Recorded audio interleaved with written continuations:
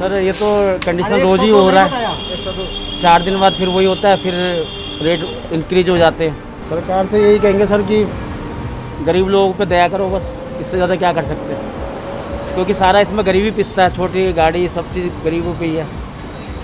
आज छोटा सा वर्कर भी मतलब बाइक लेके चलता है। हर टाइम मतलब पंद्रह दिन बाद बीस दिन बाद ये अच्छी बात नहीं है पेट्रोल के दाम जो इंक्रीज होते हैं ठीक नहीं है। हम तो पेट्रोल यूज़ करते हैं अभी।